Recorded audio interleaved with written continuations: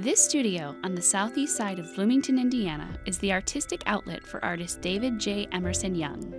He has been an artist most of his life, but just recently found a purpose in his painting. Really hit me when uh, one of my best friends uh, in Seattle took me to a place where the glaciers were melting. The vast majority of the Earth is warming, over the last uh, 150 years, in particular over the last 30 years when the warming has been much more intense. But in fact, uh, climate change is a more accurate concept. Uh, global weirding is also perhaps appropriate. Dr. Brabson will facilitate one of a series of lectures that discusses David's art. Mark and Crystal Gopin will also present material during four additional lectures all are designed to augment the global warming messages in David's paintings.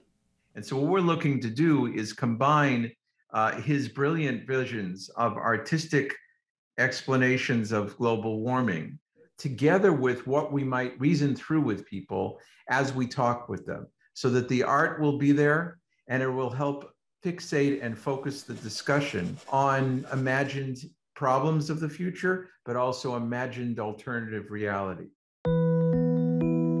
want people to understand it's really art that is science based and we have to grapple with it. It's not, we don't have much time.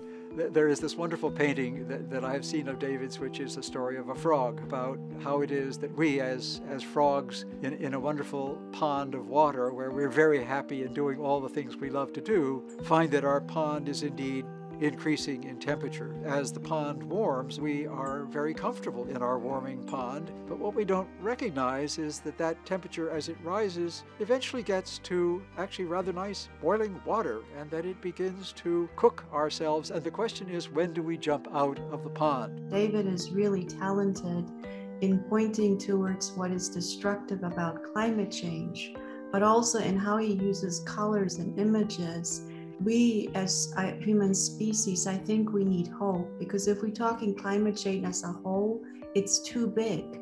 So what we need is hope, but we also need to break it down into manageable pieces.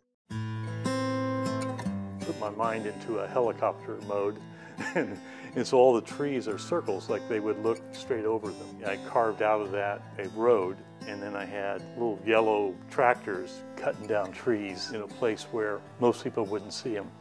And there are so many ways in which a picture says so much to us about what is actually going on in our world. Using this new strategy of bringing illustrations into the conversation is, in my view, important.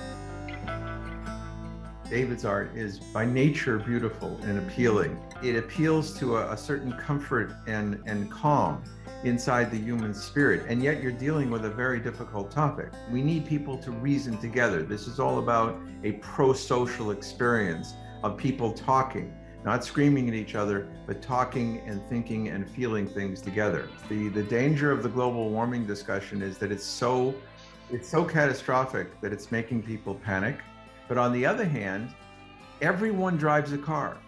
Everyone's become dependent upon gasoline. There's none of us that aren't partly responsible. We all have both been victims of what this is going to become, but we also have been perpetrators. So we already know that that this is a shared responsibility. But it can become conflict when people try to pass it off on someone else. We do have opportunities here that are better than a war zone, but the level of panic I'm seeing is something we're all going to have to face. We're going to have to face the negative emotions and then turn them into a compassionate response.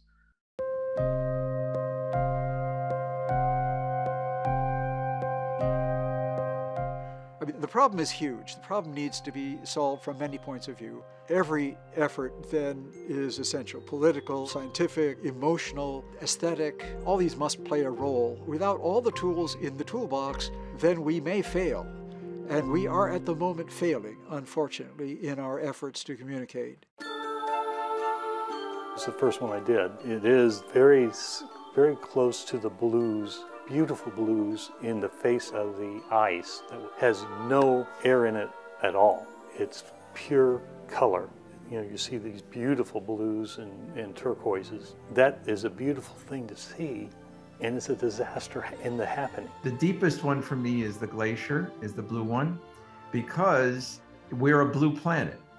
And in all the universe, we can't find a blue planet yet. Water and oxygen are a miracle of the universe, and I want to see it preserved. When I feel the longing between the sky and the oceans for blue, I think about uniqueness and and how special and precarious it is, and how much we are the stewards of that. I think people who don't believe, people who will like the aesthetics of them, even though it's uh, it's weirdly contradictory. I'm talking about really bad things happening, but making paintings that still are artistic. That's kind of the way to bring people in, I think, who are skeptical.